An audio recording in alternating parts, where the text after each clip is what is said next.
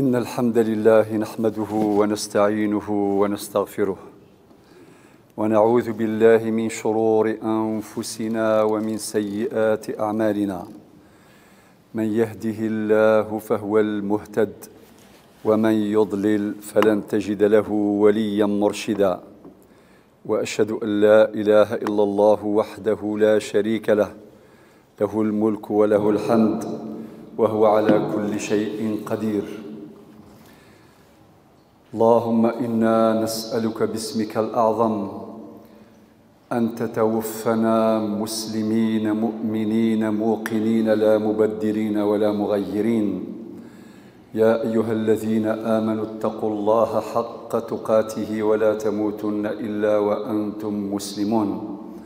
يا أيها الناس اتقوا ربكم الذي خلقكم من نفس واحدة. وخلق منها زوجها وبث منهما رجالا كثيرا ونساء. واتقوا الله الذي تساءلون به والأرحام. إن الله كان عليكم رقيبا. يا أيها الذين آمنوا اتقوا الله وقولوا قولا سديدا. يصلح لكم أعمالكم ويغفر لكم ذنوبكم. ومن يطع الله ورسوله فقد فاز فوزا عظيما. معاشر الحضور السلام عليكم ورحمة الله وبركاته. فإذا كانت الصحة نعمة وأمانة وإذا كان المرض محنة ومنحة فإن الموت رحلة لا نهاية. فالموت رحلة أبدية. ولكن ليست نهاية. قال ربنا عز وجل في اي القرآن كما في سورة الرعد ولكل أجل كتاب. وتأكد ذلك في آية أخرى في مثل قوله تعالى في سورة يونس في الآية 49 ربنا يقول إذا جاء أجلهم فلا يستاخرون ساعة ولا يستقدمون. والآية المشابهة لهذه الآية نجدها في سورة الأعراف في الآية 34 فإذا جاء أجلهم فالأولى إذا جاء أجلهم والثانية فإذا جاء أجلهم لا يستاخرون ساعة ولا يستقدمون. الأولى فلا يستاخرون ساعة ولا يستقدمون. إذا لكل أجل كتاب. فالموت فراق الروح للجسد. الموت فراق الروح للجسد. فالموت اذا ليست هي النهاية. بل هي بداية الرحلة الأبدية.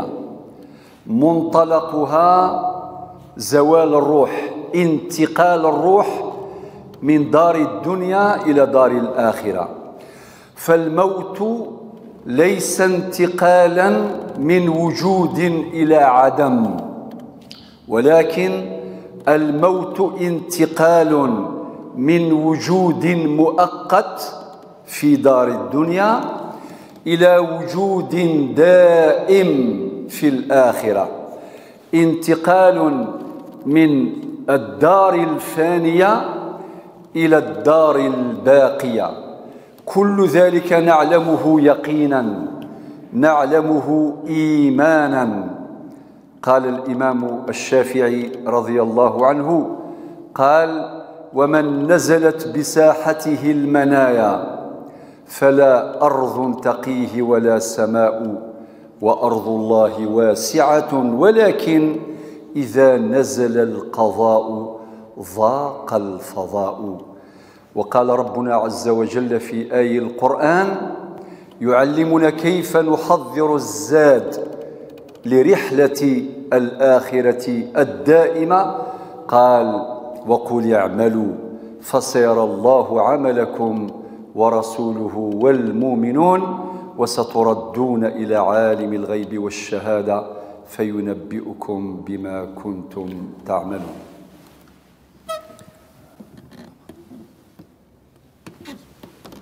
الحمد لله رب العالمين والصلاة والسلام على أشرف المرسلين. وأشهد أن لا إله إلا الله ولي الصالحين وأشهد أن محمدا عبده ورسوله خاتم النبيين والمرسلين. إذا علمنا بأن الموت هي محطة انتقال من دار الدنيا إلى دار الآخرة والدنيا قصيرة مهما طالت. الدنيا قصيرة ولو طالت فالدنيا أقصر من أن نقصرها. أتى أمر الله فلا تستعجلوه. فكل آت قريب. إذا علمنا ذلك لا بد أن نحضر الزاد. لا بد أن نتهيأ لرحلة الخلود. قال ربنا عز وجل وسيق الذين اتقوا ربهم إلى الجنة زمرا حتى إذا جاءوها وفتحت أبوابها وقال لهم خزنتها سلام عليكم طبتم فادخلوها خالدين. وقالوا الحمد لله الذي صدقنا وعده وأورثنا الأرض نتبوأ من الجنة حيث نشاء فنعم أجر العاملين. وقال الله عز وجل في آخر ما أنزل في الآية 281 من سورة البقرة واتقوا يوما ترجعون فيه إلى الله ثم توفى كل نفس ما كسبت وهم لا يظلمون. يروى أبي العتاهية فهذا الشاعر يبين أن الموت حق من خلال ما استنبطه وما فهمه من آي القرآن فيقول فيما قال الموت باب وكل الناس داخله. يا ليت شعري بعد الباب ما الدار. الدار دار نعيم إن عملت بما يرضي الإله وإن خالفت فالنار. هما محلان ما للمرء غيرهما. فانظر لنفسك أي الدار تختار. ما للناس سوى الفردوس إن عملوا وإن هفوا هفوة فالرب غفار. وقال آخر أتيت القبور فناديتها فأين المعظم فيك والمحتقر؟ وأين المذل بسلطانه؟ وأين المزكى إذا ما افتخر؟ تساووا جميعا فما مخبر؟ وماتوا جميعا ومات الأثر؟ تروح وتغدو بنات الثرى فتمحو محاسن تلك الصور؟ فيا سائلي عن أناس مضوا؟ أما لك فيما مضى معتبر؟ اللهم اشف مرضانا ومرضى المسلمين. وارحم موتانا وموتى المسلمين. اللهم اشف مرضانا ومرضى المسلمين. وارحم موتانا وموتى المسلمين. اللهم إنا نسألك التقى والعفاف والغنى. اللهم غير حالنا إلى أحسن حال. اللهم ارفع جميع الاوبئه عنا وعن البشرية قاطبة. اللهم استرنا جميعا في الدنيا وفي الآخرة. اللهم أرنا الحق حقا وارزقنا اتباعه.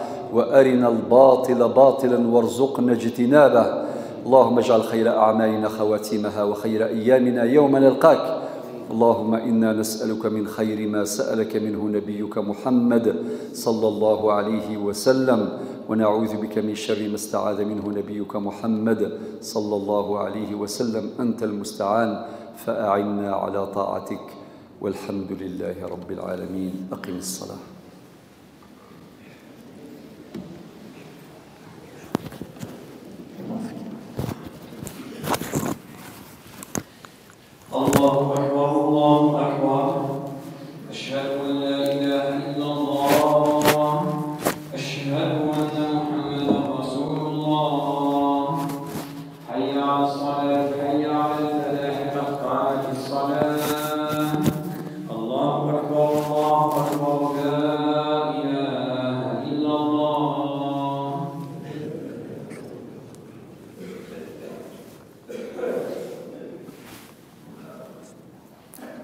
استووا استقيموا يرحمكم الله.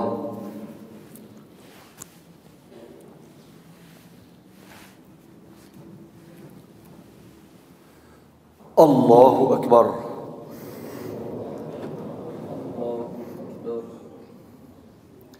الحمد لله رب العالمين. الرحمن الرحيم. ملك يوم الدين. إياك نعبد وإياك نستعين اهدنا الصراط المستقيم. صراط الذين أنعمت عليهم غير المغضوب عليهم ولا الضالين. الله لا إله إلا هو الحي القيوم. لا تأخذه سنة ولا نوم. له ما في السماوات وما في الأرض من ذا الذي يشفع عنده إلا بإذنه. يعلم ما بين أيديهم وما خلفهم ولا يحيطون بشيء من علمه إلا بما شاء. وسع كرسيه السماوات والأرض. ولا يؤوده حفظهما وهو العلي العظيم. الله أكبر.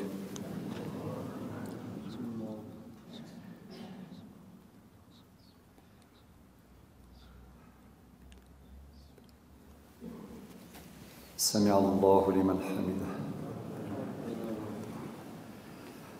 الله أكبر.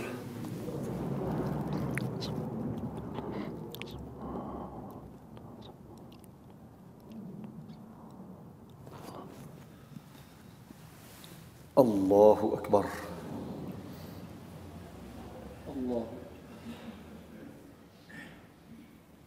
الله أكبر الله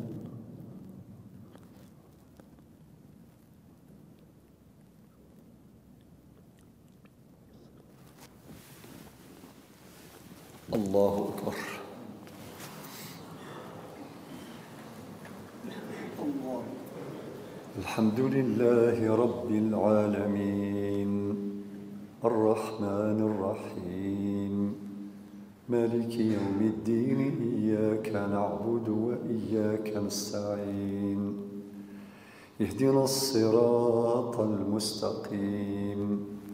صراط الذين أنعمت عليهم غير المغضوب عليهم ولا الضالين.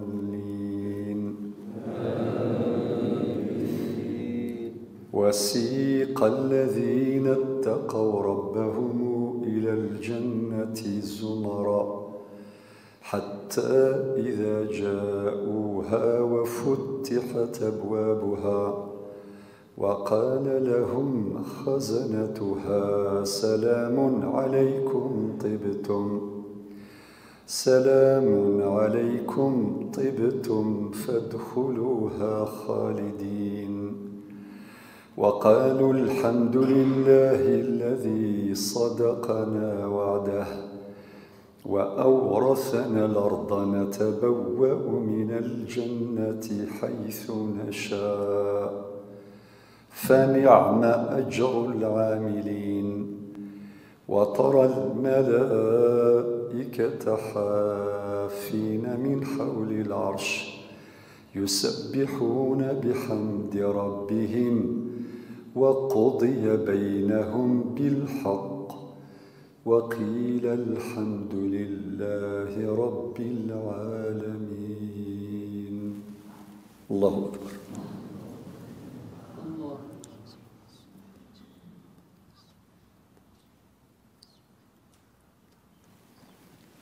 سمع الله لمن حمده. الله أكبر الله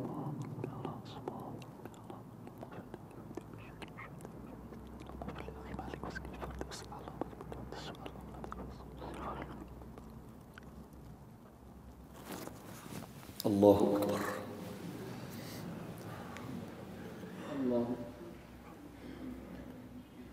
الله أكبر.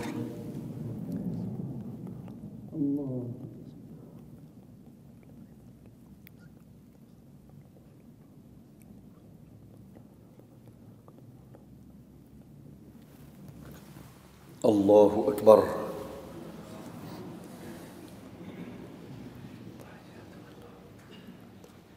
الله